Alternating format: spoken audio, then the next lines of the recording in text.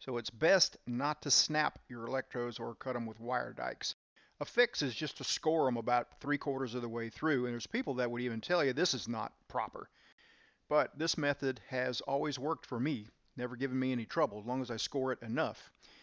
Probably a better method would be a diamond wheel. Even on a low RPM drill motor, in about 30 seconds you can score it about three quarters of the way through where it easily snaps when it doesn't split.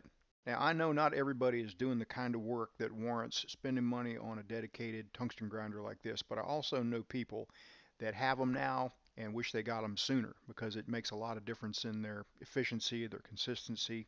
Now, I have sharpened an awful lot of electrodes doing this right here. But I didn't need to light up on a razor blade or anything. It was usually scratch start on pipe, both carbon and stainless.